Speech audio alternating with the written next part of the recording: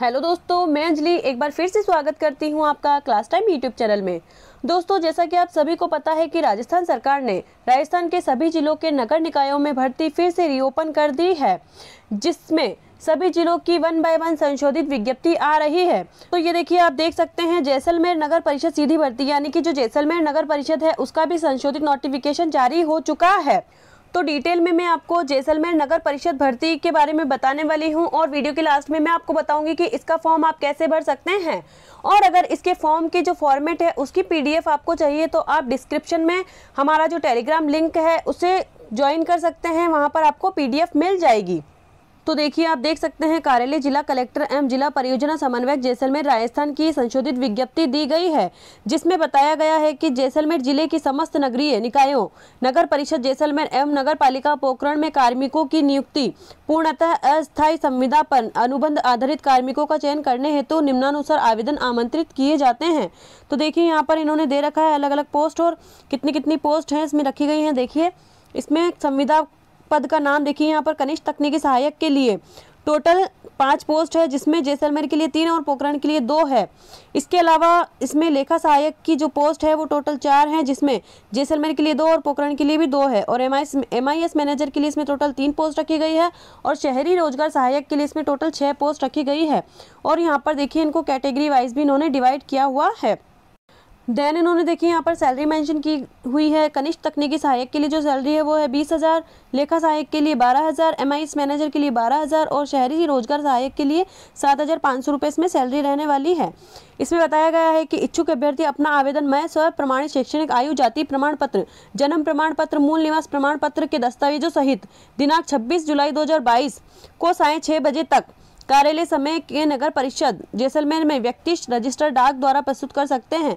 बताया गया है कि जो ये जो भी डॉक्यूमेंट्स इन्होंने मांगे हैं, इन सभी दस्तावेजों सहित आप 26 जुलाई 2022 तक शाम को छः बजे तक कार्यालय में जो नगर परिषद जैसलमेर का कार्यालय है, वहाँ पर या तो व्यक्तिगत रूप से या फिर डाक द्वारा आप अपने सारे डॉक्यूमेंट्स में सेंड कर सकते हैं।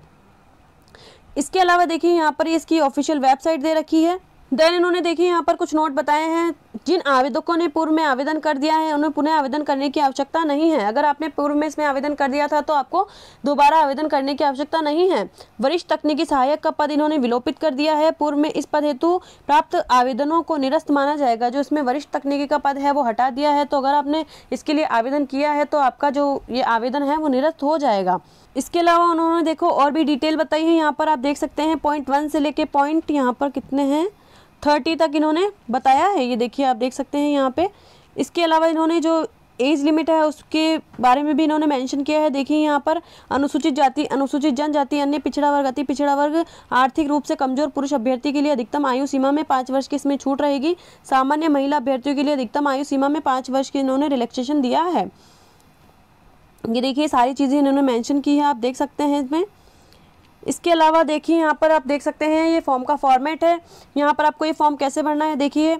यहाँ पर आपको सबसे पहले अपना नाम, पति या पिता का नाम, इसमें आपका जेंडर आएगा, पद जिसके लिए आपको आवेदन करना है। यहाँ पर कास्ट आपकी लिखनी है। इसके अलावा कास्ट सर्टिफिकेट आपका आएगा। यहाँ पर आवेदित वर्ग जन्मतिथि आपकी यहाँ रहने वाली है। जो भी प्रमाण पत्र आप जन्म से संबंधित यहाँ पर अटैच कर रहे हैं, वो आएगा। इसके अलावा आपकी जो एज है, वो आएगी। मूल निवास, स्थायी पता जो भी आपका है, वो आएगा। इसके अलावा आपका जो मूल निवास प्रमाण पत्र है, वो भी इसमें अटैच होगा। पत्र व्यवहार का पता यहाँ पर मोबाइल नंबर आपका आएगा। आधार संख्या आपकी यहाँ पर आएगी। मेल आईडी आपकी। जो भी शैक्षणिक योग्यता आपकी यहाँ पर आएगी।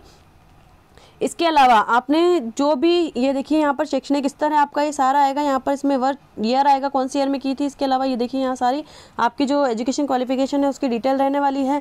इसके अलावा आप जो भी डॉक्यूमेंट्स इसमें अटैच कर रहे हैं, वो उन सभी का यहाँ पर नाम आएगा। इसके अलावा देखिए यहाँ पर आपके साइन हो जाएँगे और इधर भी आपके साइन हो जाएँगे, दोनों जगह आपके साइन हो जाएँगे। देन देखिए, जो भी संतान से रिलेटेड डिटेल है, इसमें वो दी गई है। इसके अलावा देखिए यहाँ पर यहाँ पर लास्ट में भी आपके यहाँ पर साइन हो जाएँगे।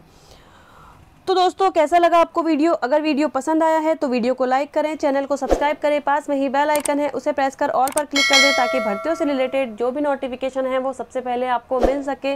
ओके दोस्तों, थैंक्स फॉर वॉचिंग, जय हिंद, जय भारत।